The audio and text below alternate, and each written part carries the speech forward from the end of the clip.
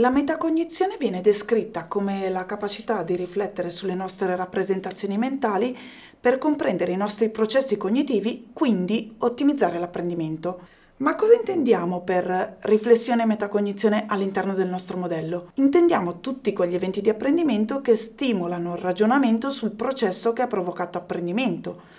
Quindi quando e come si è svolto, quali sono le relazioni tra le componenti del sistema, quali risultati ha portato come potrebbe essere migliorato. Numerosi sono gli studi che sottolineano come incoraggiare riflessione e metacognizione significhi stimolare le abilità di autoosservazione e l'individuazione di migliori strategie di apprendimento. Le attività che stimolano riflessione e metacognizione possono essere varie e spesso sono abbinate o conseguenti ad altre attività che stimolano consapevolezza e riflessione sul processo. Il docente può per esempio chiedere agli studenti di creare mappe concettuali legate al processo di apprendimento nel suo complesso, può organizzare attività di riflessione legate all'acquisizione di abilità trasversali, spostare la riflessione sui collegamenti con altre discipline o sull'individuazione di modelli trasferibili in altri contesti. Vediamo qualche esempio partendo dal contesto tradizionale a valle di una serie di lezioni che comportano la collezione di contenuti a bassa interattività, il docente può proporre agli studenti un test di retrieval online asincrono che permetta loro di comprendere quanto è stato realmente appreso e memorizzato.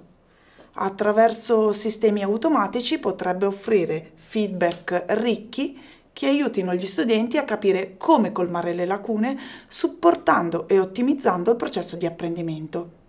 Abbiamo visto un caso semplice, ma le attività di riflessione e metacognizione sono tanto più utili quando gli eventi di apprendimento sono vari e articolati.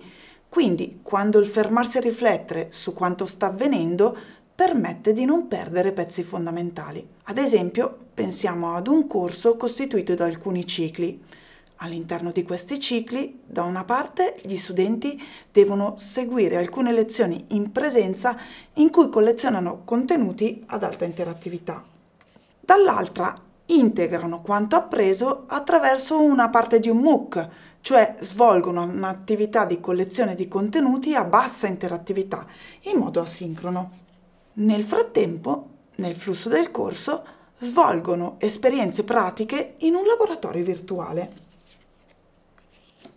Aiutare a tenere insieme tutti i differenti pezzi e ottimizzare il processo di apprendimento? A valle della chiusura di un ciclo, gli studenti potrebbero partecipare a discussioni online sincrone in piccoli gruppi, producendo un breve report sui principali concetti, processi, metodi appresi e sperimentati, ovvero su come e quando i contenuti collezionati abbiano supportato l'attività pratica. Ciò permette agli studenti di riflettere sul processo nel suo complesso e di individuare i collegamenti che nel passaggio dalla teoria alla pratica potrebbero non risultare così scontati ed andare un po' persi.